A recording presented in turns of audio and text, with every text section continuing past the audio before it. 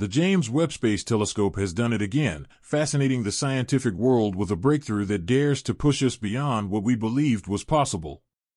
With every new photo and every bit of data it returns to Earth, our cosmic understanding is being rewritten. Old paradigms are being broken, long held theories are being questioned, and new questions are arising quicker than they can be solved. In an especially breathtaking twist, Webb has assisted in the identification of an object so large and expansive in size that it rebuilds what we understand of the universe's architecture. This 100 million times more massive object is thought to be around 100 times the size of our Milky Way galaxy and is not just a record breaking detection but also an enigma that has researchers all over the world questioning how something so enormous could possibly exist. The history of this discovery begins with an overview. Since July 11, 2022, the day when the James Webb Space Telescope unveiled its very first photo, it has been revealing a window into previously unseen regions of the universe. From distant exoplanets and ancient galaxies to the creation of stars and nebulae, every observation has added another layer of richness and complexity to our image of the cosmos. The telescope's incredible sensitivity allows it to detect ancient light traveling billions of years across space, revealing celestial objects as they were shortly after the birth of the universe. Naturally, with this powerful tool scanning the skies, it was only a matter of time before it stumbled upon something truly extraordinary. That extraordinary object turned out to be a massive radio galaxy now known as Alcyoneus. Unlike most galaxies that produce visible light, radio galaxies generate strong radio frequency radiation. These emissions, ranging in frequency from 10 mHz to 100 GHz, are generally produced by supermassive black holes found at their centers. These black holes don't just devour matter, they also expel it. They fire forth enormous streams of charged particles that move at almost the speed of light, extending far into the unseen reaches beyond the galaxy itself. These jets are important in redistributing matter, sowing the space around with material that will someday have time to collapse into new stars and planets. Alcyoneus is not a typical radio galaxy, however. It is probably the largest one ever found. It is situated approximately 3.5 billion light years from Earth, so its size is hard to get your head around.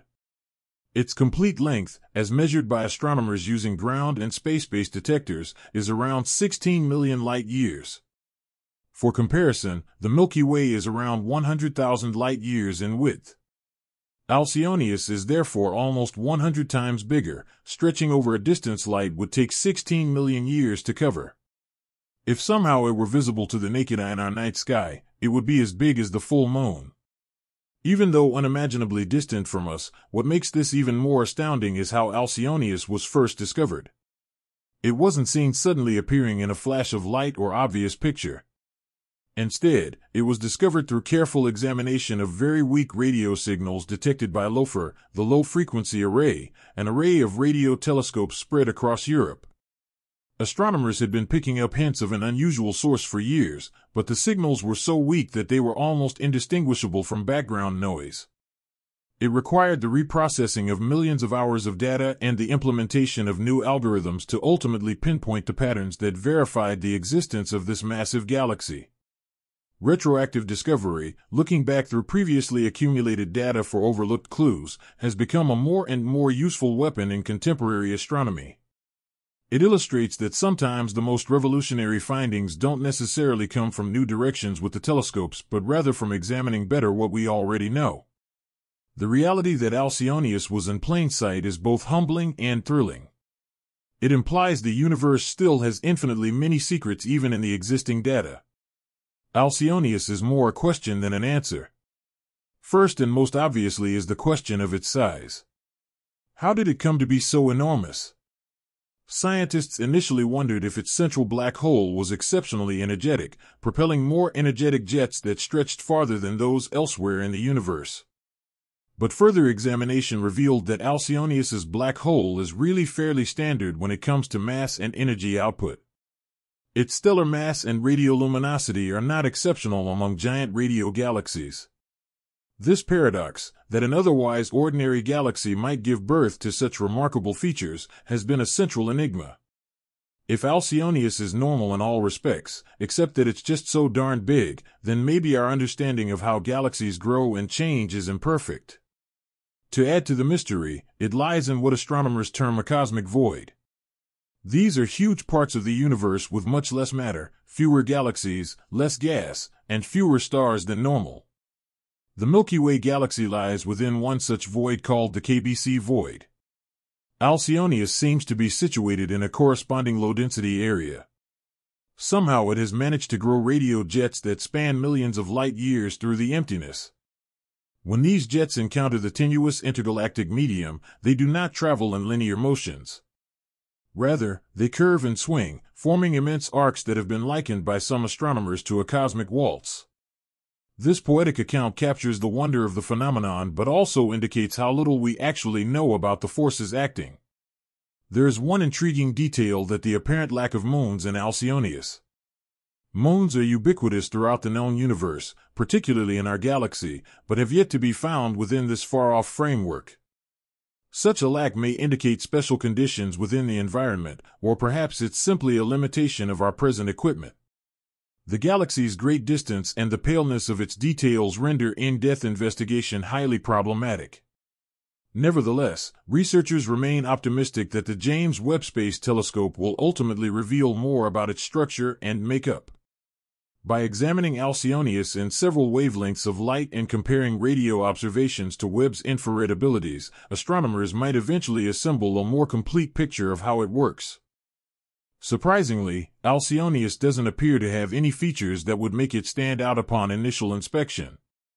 Its radio brightness, the mass of its central black hole, and the star content of the galaxy are all within typical ranges. This suggests the potential for there being numerous other such giant galaxies hiding in the data, waiting to be uncovered using similar methods. Should that be the case, it is possible that our existing galaxy growth and evolution models have critical pieces of the jigsaw missing. Maybe galaxies can build much greater structures than we assumed given the proper circumstances, or perhaps cosmic voids themselves facilitate the growth of such behemoths by offering them enormous expanses of unobstructed room to grow in. The reverberations of Alcyoneus's find reverberate far beyond one galaxy.